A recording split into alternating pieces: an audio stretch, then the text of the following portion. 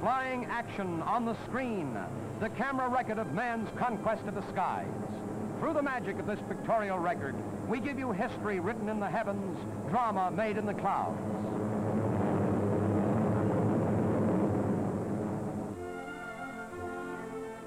It was back in 1903 that the pioneering Wright brothers, Orville and Wilbur, flew the first heavier-than-air machine above the sands of Kill Devil Hill at Kitty Hawk, North Carolina. Then came Bleriot, flying his animated box kite across the English Channel. Fearless women like Ruth Law forced the coining of a new word, aviatrix.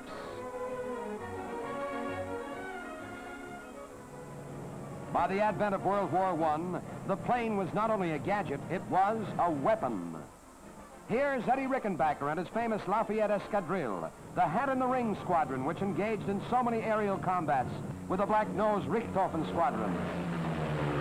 Those early dogfighters were still a long way, however, from the fighting plane of today.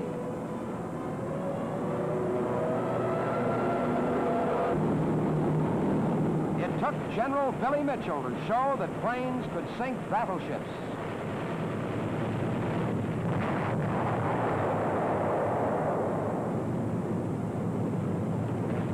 Bombs away and the battleship is sunk. But for many, the plane had still not proved itself. More pioneers were needed, and more pioneers were found, such as the daredevil pilots who were first to prove the mail must go through on wings.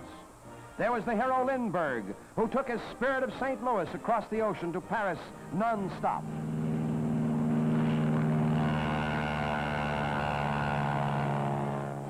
There were Will Rogers and Wiley Post, who lost their lives, but who remained deathless heroes of the air. Amelia Earhart, who flew off into the wild blue yonder. Ruth Elder, a great woman pilot. Here's Ruth Nichols, another gal who proved that women rated wings. It was a risky business flying in those days, and sometimes fate demanded a sacrifice. Here's Gene Bayles in his power-packed speedster, the Gee Bee, caught by the camera in an unforgettable shot as it breaks into flames above the airfield. Burning wreckage is his monument. And here is that great silver cigar called the Hindenburg, queen of the lighter-than-air fleet. A static spark ignites the hydrogen in her tanks, and in a few searing seconds, she crumbles to the ground, a charred and smoldering wreckage of a great liner of the air.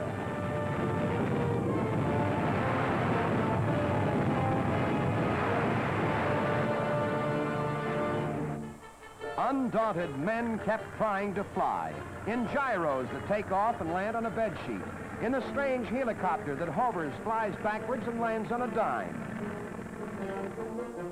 And there were stranger contraptions, too. Many a man with a high-flying imagination wound up with his face in the dirt.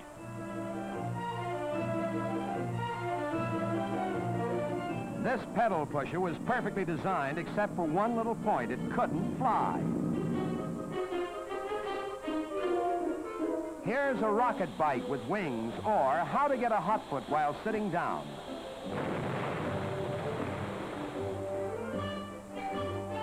And here's a human glider.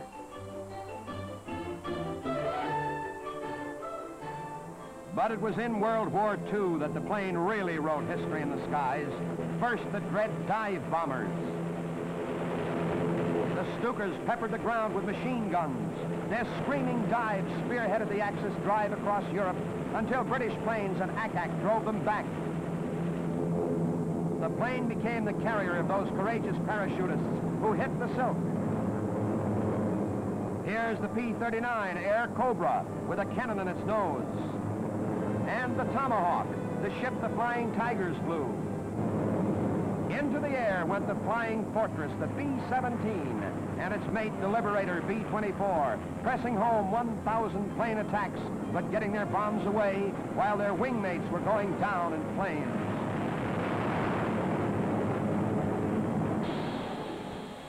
In the late stages of the European War came the Buzz Bomb, a 400-mile-an-hour pilotless plane that could only be caught and shot down by a jet interceptor.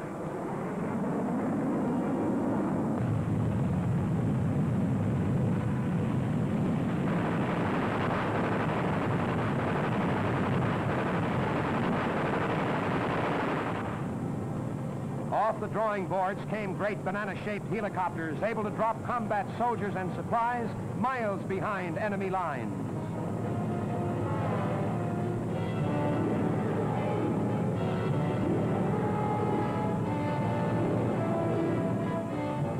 Bigger bombs required bigger bombers like this Intercontinental B-36 with six piston and four jet engines supplying a mighty thrust of power.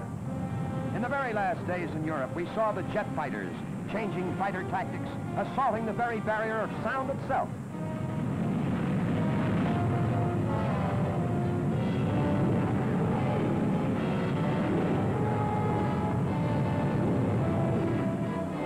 In the Pacific, it was still a carrier war.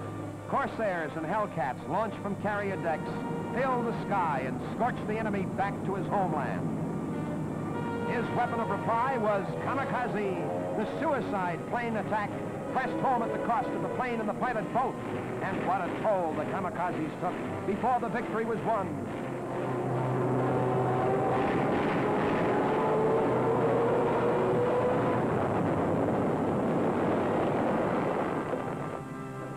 The war over, aircraft development turned completely toward jets. Reaction thrust took planes up to 700 miles an hour.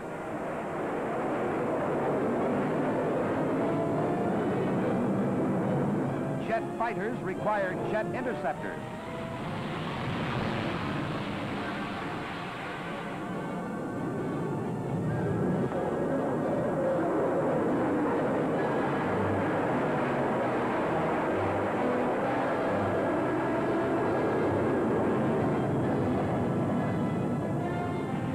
Among strange new experiments with the Northrop Flying Wing, a frightening vision of the future.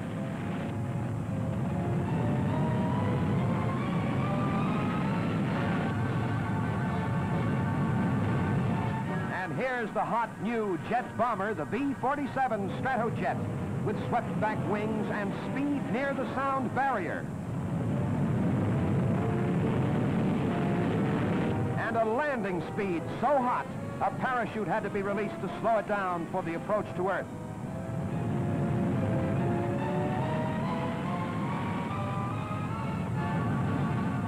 Jets not being fast enough, the rocket was built into a plane and the XS-1 dropped from the bomb bay of a mothership straight through the sky at close to 1,500 miles an hour.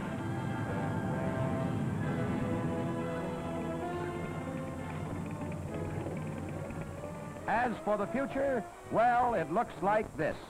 Giant rockets burning liquid oxygen and alcohol, maneuvered by electronic devices, point their noses into the sky, to other continents, other planets, who knows where, but always climbing through space to write another great chapter in the exciting history of flying action